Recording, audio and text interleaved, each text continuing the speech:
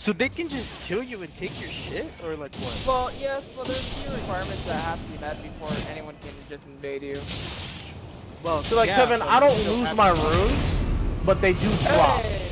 Oh, come the fuck off! Shut the fuck up next time, Kevin.